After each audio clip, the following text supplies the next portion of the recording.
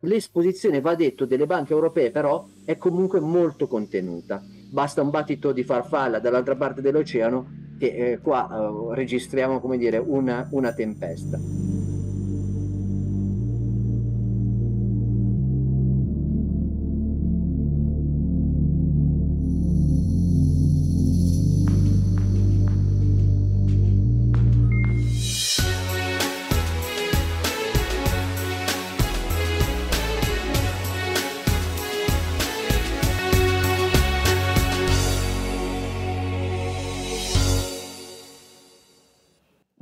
Bentornati a TG Mag. Il titolo di questa edizione è Bolle di tensione. Bolle come quelle finanziarie e tensione come quella che si può quasi toccare nelle strade dove è in aumento la violenza giovanile e nello scontro politico tra l'Unione Europea e il governo italiano. Apriamo parlando di calcio, ma non di Milan, Inter e Napoli qualificate ai quarti di finale di Champions League. Parliamo degli incidenti che hanno generato scene di devastazione per un'intera giornata a Napoli. L'incursione piratesca dei tifosi tedeschi ha scatenato la reazione altrettanto violenta del tifo estremo napoletano. Risultato? Oggi si parla più della guerriglia di Napoli che dei due gol di Osimen e del riscatto che i risultati hanno portato all'intero movimento del calcio. Il coinvolgimento dei giovani in atti teppistici sempre più ripetuti ha lanciato un allarme diffuso in tutta Italia. Abbiamo sentito un alto magistrato a Milano e ci siamo recati sui luoghi di altre devastazioni che si sono svolte nei giorni scorsi a Torino per provare a fare il punto, alla ricerca di soluzioni efficaci. Negli ultimi mesi, soprattutto dopo il Covid, è cresciuto il numero di reati commessi da gruppi di minorenni. Tra le cause di questo incremento c'è sicuramente la mancanza di empatia, ma non solo. Anche i social network giocano un ruolo importante. I ragazzi oggi, gli adolescenti di oggi eh, crescono anche con i social o attraverso i social. I social purtroppo non favoriscono uno sviluppo eh, della relazione umana, del contatto. I social vengono diffusi reati commessi nella vita reale, perché molti di questi ragazzi hanno bisogno di esibirsi. Ecco, la loro, eh, la loro esigenza primaria, eh, come dire, come se si sentissero invisibili, ecco, non visti, non ascoltati, eh, allora ogni occasione è utile, come per tanti adulti, per postare. Nella maggior parte dei ragazzi che commettono reati in età adolescenziale ci sono a volte delle profonde e significative lacune educative. Derivano da vuoti evidentemente lasciati dalla famiglia che è la primaria, la primaria agenzia educativa, ma anche dalla scuola. Il ragazzo che non va a scuola e che non è impegnato, ingaggiato in altre attività, che cosa farà? Ecco, è chiaro che se questo ragazzo proviene già da un contesto familiare problematico o multiproblematico, rischiano di essere abbandonati a se stessi.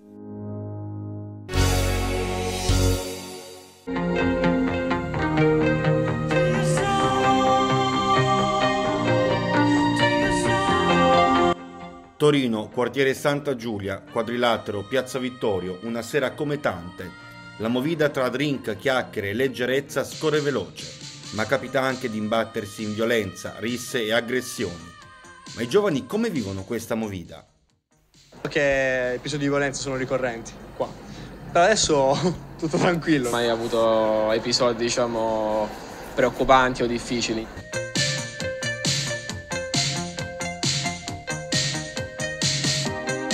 Eravamo in tre e sono arrivati questi ragazzi e al mio amico hanno strappato la collana e sono andati via. Un gruppo di ragazzi hanno picchiato un ragazzo, l'hanno lasciato là steso a terra, è arrivata la polizia, è arrivata l'ambulanza e loro sono scappati.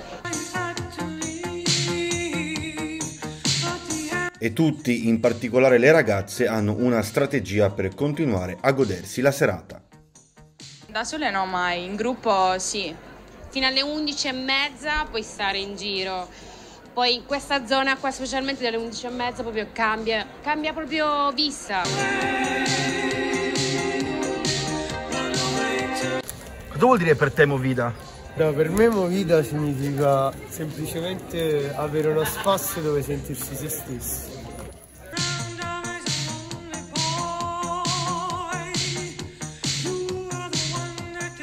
La movida in molti casi ci consegna episodi che ci lasciano sgomenti, come quando due mesi fa un gruppo di ragazzi proprio qui da questa balaustra sul lungo po' di Torino ha lanciato una bici come questa del peso di circa 15 kg nella passeggiata sottostante colpendo un ragazzo che è tuttora ricoverato in ospedale.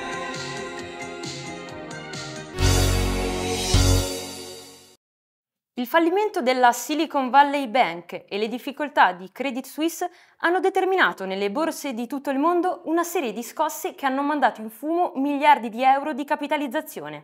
Ma cosa succederà ora? Lo abbiamo chiesto a Luca Davi, giornalista finanziario del Sole 24 Ore, che ci ha fornito le risposte che possono aiutarci a capire. Ma davvero siamo alla vigilia di un'altra Lehman Brothers, una crisi finanziaria di così vasta portata? È cambiato il mondo eh, dal 2008 ad oggi, il sistema bancario in particolare europeo è molto più solido, le banche eh, del vecchio continente sono molto più capitalizzate, hanno fatto un grande lavoro di pulizia sui crediti derivati e oggi quindi sono più solide. C'è un sistema che monitora in maniera eh, molto più efficace eh, il, eh, la vigilanza bancaria centrale eh, europea monitora in maniera molto efficace ovviamente le banche europee. Quali rischi corre il mercato europeo dopo il crack di Silicon Valley Bank e la crisi di Credit Suisse? Sui mercati ovviamente eh, ci sono vendite anche violente, Um, il caso Credit Suisse oggi è eh, ovviamente di stretta attualità. Eh, l'esposizione, va detto, delle banche europee però è comunque molto contenuta. Questo dovrebbe teoricamente eh, rendere molto sereno o comunque farci eh, vivere con più tranquillità. Eh, ciò tuttavia non è, eh, non è, ovviamente del tutto vero, anche perché eh, ovviamente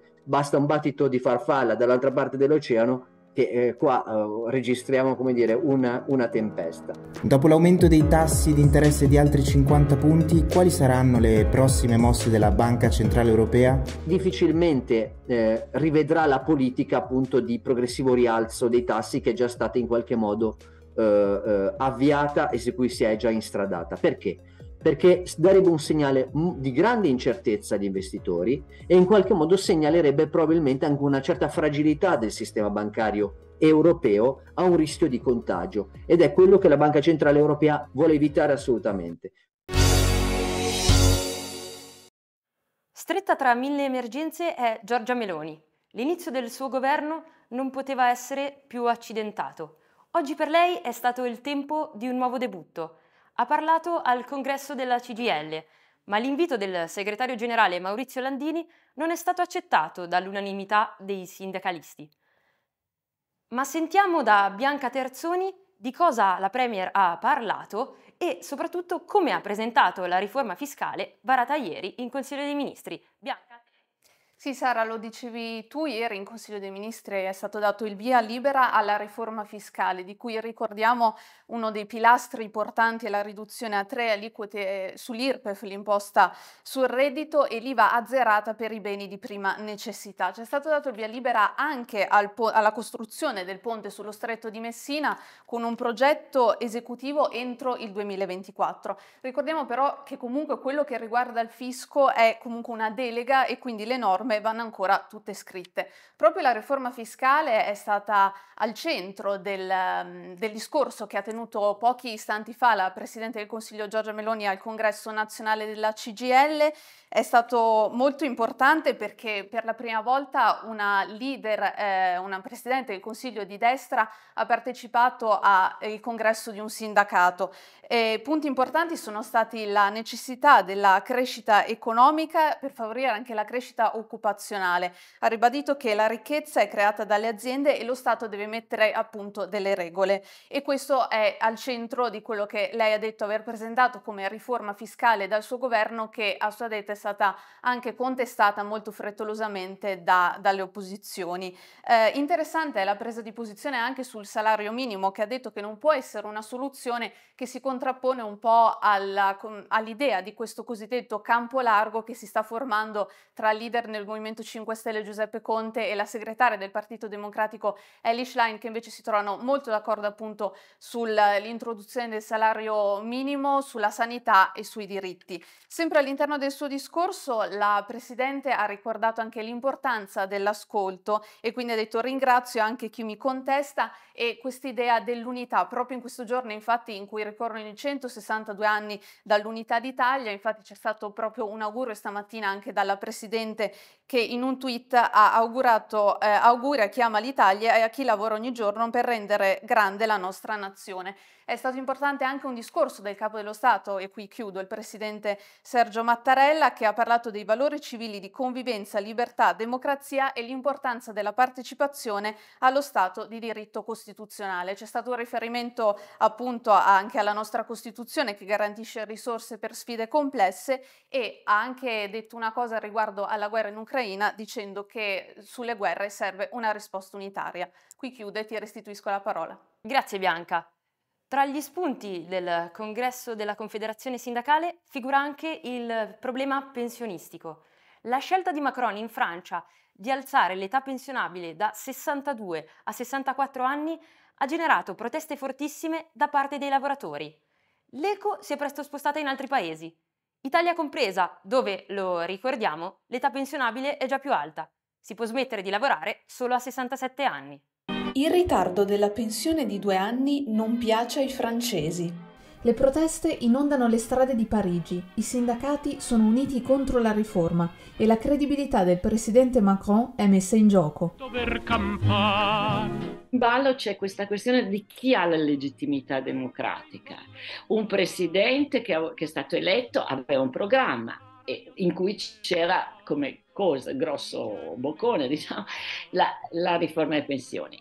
Ma la gente dice, ma io l'ho votato per non, perché non venisse estrema destra, la candidata estrema destra, non lo votavo per il suo programma. E invece la gente ha capito solo, cioè quello che la gente dice, noi non vogliamo, ci tolgono i due migliori anni, praticamente i due migliori anni di pensione per trasformarli nei due peggiori anni di lavoro resterà una frattura de, de, sul, sul, proprio sull'idea di democrazia.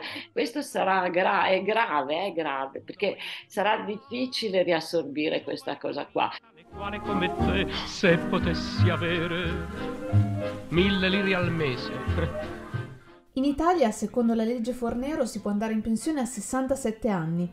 Quota 103 permetterebbe di smettere di lavorare a 62 anni, ma c'è un'età giusta per andare in pensione? Quota 103 non si può assolutamente dire che è il superamento della legge Fornero che continua invece a, a, essere, a essere, viva e, e, continua a essere il requisito di accesso al pensionamento per moltissime lavoratrici e lavoratori. Mentre noi abbiamo bisogno oggi e a maggior ragione in prospettiva futuro di dare dei requisiti certi a tutti e che siano dei requisiti che non debbano poi scaricarsi per le persone indifferenze. E noi da sempre abbiamo sostenuto che da 62 anni in su si può immaginare una flessibilità in uscita che permetta alle persone di scegliere quando andare a, a, in pensione. Oggi il tema vero è che chi decide di andare prima sta decidendo di prendere di meno. Dobbiamo parlare di lavoro.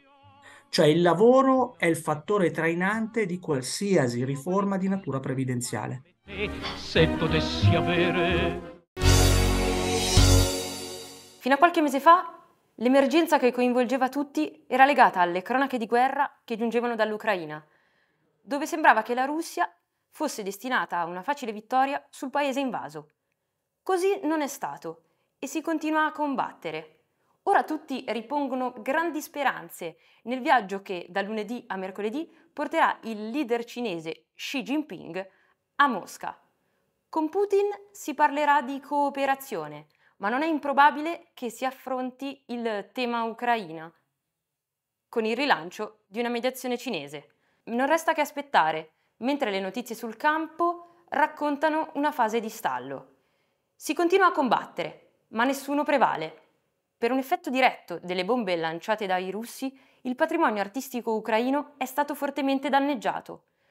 Un gruppo di studenti ha provato a tracciare una mappa dei danni radunando le proprie ricerche in un sito internet.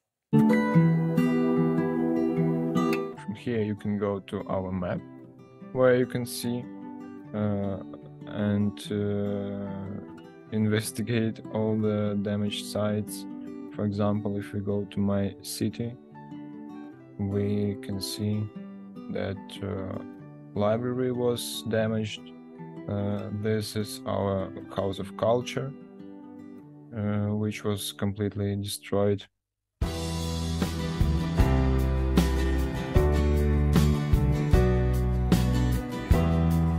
Since the beginning of the war, in Ukraine, Russians have been purposely destroying the objects of cultural heritage of Ukraine. Uh, their aim is uh, to do as uh, our culture have never existed, because that is their main purpose of propaganda. That uh, all it was is Russian culture, and Ukraine never existed. So all they're trying to do is not only to destroy current Ukraine, but to erase any evidence of uh, ancient Ukrainian culture. And uh, since the start of the full scale invasion, uh, it's more than 1,000 and 1,300 objects of cultural infrastructure were damaged. And a lot of them really are stolen. Uh, from occupied territories like Mariupol. Uh, this is the reason why uh, I decided to join the fund because uh, I feel that it's not it's not only important to defend our um, physical environment, our lives and future of our country, but uh, our culture because this war is uh, mainly based on culture.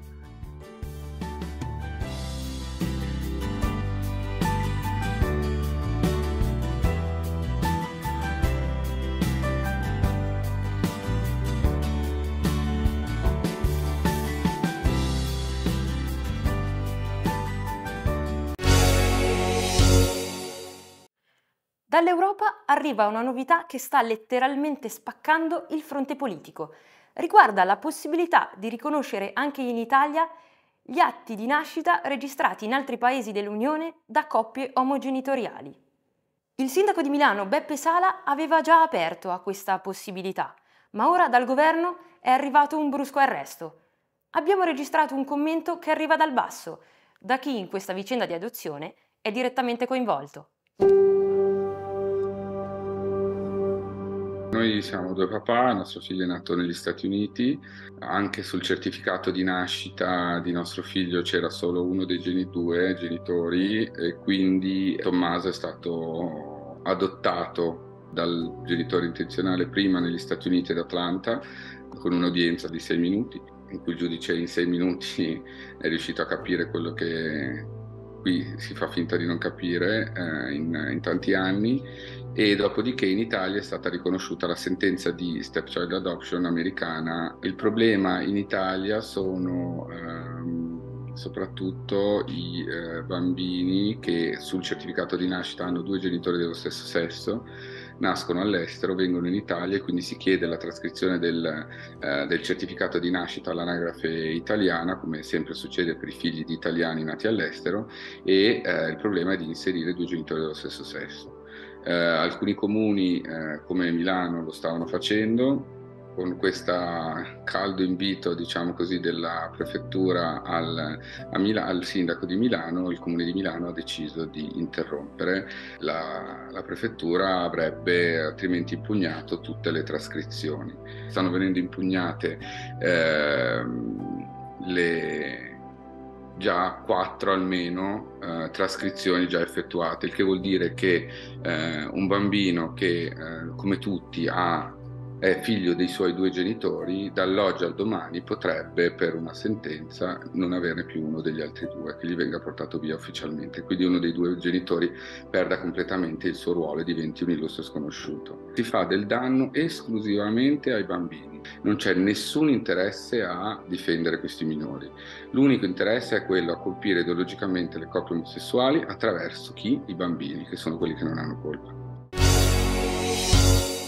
Questa è stata anche la settimana della sensibilizzazione e della lotta contro i disturbi del comportamento alimentare. Secondo l'Organizzazione Mondiale della Sanità, rappresentano la seconda causa di morte, con circa 4.000 decessi all'anno tra i 12 e i 25 anni. Molto spesso i disturbi alimentari vengono circoscritti ad un problema con il peso, ma c'è molto di più. Si tratta di malattie e per curarle è necessario un approccio multidisciplinare. Abbiamo sentito Alba e Laura, volontarie di Animenta. Nella cura dei disturbi alimentari si tende a utilizzare il termine caso grave per indicare un paziente che manifesta un calo di peso significativo e pericoloso per la sua salute. Una selezione però del tutto ingiusta, in quanto la perdita di peso è una conseguenza di certi disturbi alimentari e non di tutti, che meritano invece di essere ugualmente curati. Io ne ho sempre voluto parlare del mio disturbo. Sembrava una cosa che io dovessi nascondere. Però appunto io ho sempre parlato del mio disturbo alimentare, di come va a influenzare poi, andava a influenzare la mia vita. A me mi faceva talmente tanto arrabbiare, cioè io non voglio vergognarmi della mia malattia. Alba condivide la sua esperienza sui social. Con il linguaggio delle nuove generazioni cerca di parlare di una tematica complessa, i disturbi del comportamento alimentare. Ero a casa, era tardi e avevo fame e mi mangio una, una pera. Tranquilla in realtà, è stato il dopo. Sono stati sensi di colpa, perché ti giuro io non mi davo spiegazione a quel dolore derivato da una pera. E un giorno i miei si arrabbiano perché appunto io non tocco cibo a tavola finché non arriva un momento dove io dico mamma sì mamma ho bisogno di, di aiuto. Oggi i disturbi alimentari colpiscono più di 4 milioni di persone, soprattutto ragazzi e ragazze tra i 12 e i 25 anni. Tra le tante realtà impegnate in questa battaglia, Alba e Laura sono volontarie di Animenta. Animenta è un'associazione di promozione sociale e nasce proprio dalle storie quindi proprio raccogliendo e raccontando eh, i disturbi del comportamento alimentare non solo sotto il profilo clinico, ma proprio attraverso una narrazione che sia un pochino più rappresentativa della realtà dei fatti, cioè che risponda a cosa vuol dire soffrire di un disturbo alimentare. C'è un mondo dietro che purtroppo in, qualche modo è stato spesso nascosto da una comunicazione errata. Quindi una delle, delle, cose più importanti da fare è focalizzarsi sul vissuto delle persone, su quello che provano, sulle storie sostanzialmente. Consapevole che ovviamente ogni storia è a sé, non si può poi fare un discorso no? universale. Oh.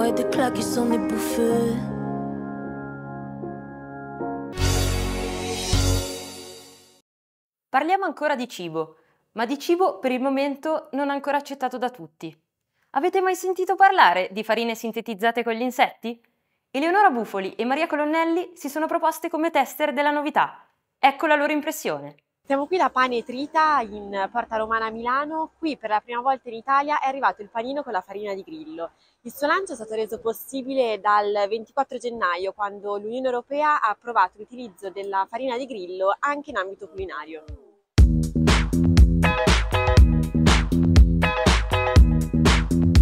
Noi abbiamo sviluppato questo panino facendo una sorta di hamburger che poi semplicemente è una polpetta a base vegetariana con fiocchi di patate, crema di cannellini e ceci, all'interno c'è la farina di grillo.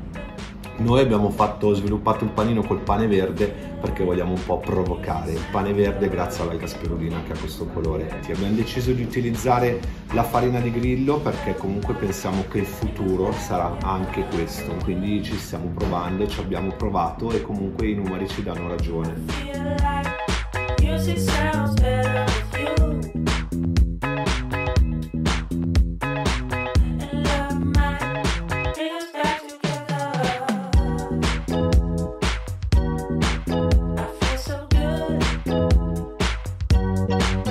Ed ecco qua il nostro grillo cheeseburger. Adesso lo assaggiamo.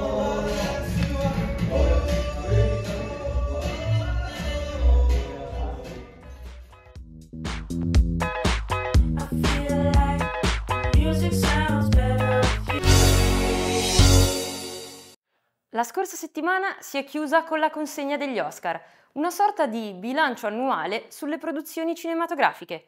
Qualcosa da qualche stagione sta cambiando. Accanto ai produttori tradizionali si affiancano sempre più numerose le nuove piattaforme nate per distribuire i film, ma ora passate anche alla fase più complessa della produzione. È un normale processo di, di modernizzazione del sistema, è sempre stato così. Nel 2019 per la prima volta Netflix vinceva ben due premi Oscar con Roma di Alfonso Cuaron, tra cui quello di miglior film internazionale. Oggi trovare tra i candidati dei vari festival cinematografici film prodotti e distribuiti da piattaforme è diventata una normalità. La diffusione dello streaming prevede dei costi fissi per le infrastrutture, eppure è il settore più in ascesa. Il vantaggio di questo business rispetto a quello tradizionale è che tu non hai costi di distribuzione importanti. Quello che costa appunto sono questi costi fissi e eh, viene spalmato questo costo sul numero più, più alto possibile di, di, consumatori. Cerchi di affermarti il più, il più possibile con una varietà di prodotto e col prodotto locale, perché si è visto che il prodotto locale comunque funziona. A volte le persone hanno paura delle cose che non conoscono loro producono e distribuiscono, ma i produttori non sono loro, loro finanziano i film. Anche Warner e Fox non erano produttori impropri, i film prodotti erano 2, 3, 4 all'anno, il resto era acquisito da fuori. Quest'anno agli Oscar c'è però stato un unplane inaspettato, la A24, già produttrice in passato di film di successo come Moonlight, Midsommar e della serie record Euphoria, ha trionfato con Everything Everywhere All At Once e The Whale, nove statuette all'insegna della creatività. La loro caratteristica è di non avere una vera e propria linea editoriale. La loro strategia è stata molto intelligente perché ha detto vogliamo fare film d'autore ma non per un pubblico adulto. Questa cosa sono riuscito a farla sia come scelta di prodotto, sia come comunicazione. L'incognita principale riguarda però i cinema. Tra le poche case indipendenti rimaste e le brevi finestre di passaggio dei film delle piattaforme, quale sarà il loro futuro è difficile dirlo. Spielberg l'aveva detto qualche anno, qualche anno fa, le sale diventano la vetrina di lancio più delle volte dei grandi film, blockbuster, e poi passeranno direttamente sulla piattaforma.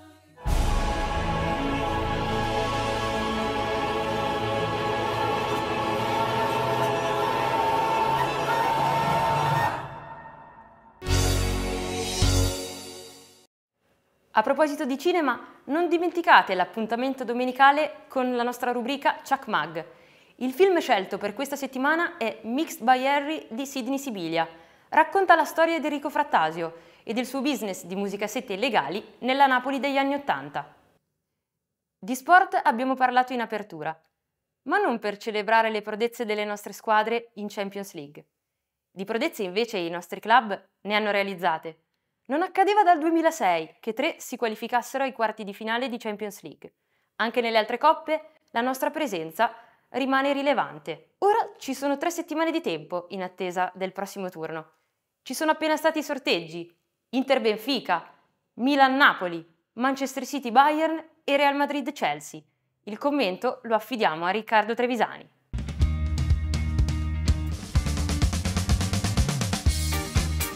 Non pensavo a niente di meglio che tre italiane dalla stessa parte del tabellone nelle semifinali di Champions League. È stato veramente sorprendente quello che è accaduto, molto fortunato. Abbiamo tre possibilità su quattro di andare in finale a Istanbul e non era così, così scontato. C'è da battere il Benfica, che è una squadra di grande tradizione europea che non vince mai le finali, ma spesso in finale ci arriva.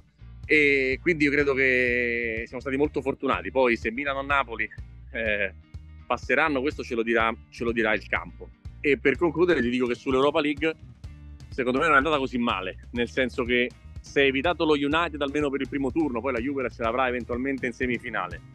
La Roma ha preso il lato debole eh, del, del, tabellone, anche se il Feyenoord è una squadra fastidiosa in campo e fuori, legato a quello che mh, sono i tifosi del Feyenoord, che sono peggio di quelli dell'Eintracht, se è possibile e quindi non sarà comunque una passeggiata. Però insomma poi dopo Bayer Leverkusen o Union San Giloasi non è male. E ti dico a sorpresa che penso quasi che possano passare i belgi piuttosto che, che i tedeschi perché è una squadra sorprendente che gioca un bellissimo calcio e che ha un piccolo Simen in attacco che si chiama Boniface. E io penso che, che, ci divertiremo ancora nel senso che magari non ne passeranno sei proprio matematicamente non, non può succedere ma penso che il calcio italiano possa dire ancora la sua. Magari non avremo risolto tutti i nostri problemi, però dal punto di vista numerico e del farci rivedere a grandi livelli in Europa, qualcosina stiamo facendo ed è un piccolo primo passo. Poi bisogna aggiustare anche tante altre cose per tornare ad alto livello. Per esigenze di sintesi vi riepiloghiamo tutti gli accoppiamenti. In Champions League le partite saranno Milan-Napoli, Inter-Benfica, Real Madrid-Chelsea e Manchester City-Bayern Monaco. Ricordiamo che le semifinali saranno tra le vincitrici dei primi due match, fatto che renderà inevitabile il derby italiano in caso di qualificazione dell'Inter. Rischio invece evitato in Europa League, dove la Juve, che affronterà lo Sporting Lisbona, e la Roma, che sfiderà gli olandesi del Feyenoord, sono in raggruppamenti diversi e quindi possono affrontarsi solo in finale. In Conference League, invece, la Fiorentina incontrerà il Lech Poznan. Dopodomani è il 19 marzo, la festa consacrata a tutti i papà. Abbiamo voluto ricordare questa figura fondamentale nelle nostre vite con il servizio di controcopertina con il quale vi salutiamo e vi diamo appuntamento alla prossima settimana. Non permettere mai a nessuno di dirti che non sai fare qualcosa. Poter ricordare la festa del papà è un privilegio, un privilegio che purtroppo non tutti hanno ed è proprio per questo che noi fortunati, noi che possiamo ancora dire auguri papà, dobbiamo apprezzare ogni giorno la fortuna che abbiamo. Il papà è il mio primo tifoso ed è quella persona che mi fa sorridere anche nei momenti difficili. Per me papà è quella persona che se sto male, se non riesco a parlare, ma solamente a piangere, sa prendermi tra le sue braccia e capire tutto anche senza parlare. Per me papà è una dolce sicurezza, è un'ispirazione generosa che non ha bisogno di spiegazioni quando indica la strada da seguire. Papà è ricordi di bambino i momenti felici del presente. In realtà molto su quello che sarà questo congresso, ma molto anche a grado.